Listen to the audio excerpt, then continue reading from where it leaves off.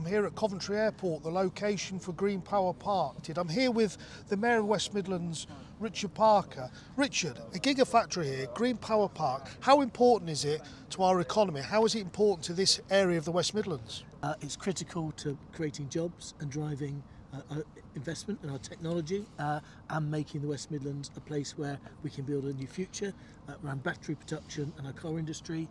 And my role is to work with you on the ground here with the other key project sponsors and then to continue to lobby government so we get the investment we need from government, uh, central government, so we can ensure that we build this site out in good time. And that's the clear important thing, that two things. One is that any gigafactory that's been built anywhere around the world has had substantial government support, number one, and we need to work with government to make sure, and you're working on that. But number two, we know the country needs about 120 gigawatts of battery production over the next 10 years. This site is crucial to that in order to support both the economy, to support the industry, but also to support energy storage for our national grid.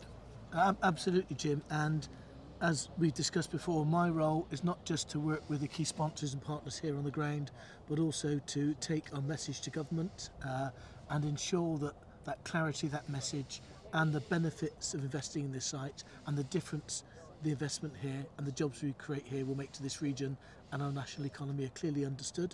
So those conversations that we're having with battery suppliers going forward, working with government, we're going to have a gigafactory here very, very soon. People working hard. Thank you, Richard, for your support. Thank you, Jim.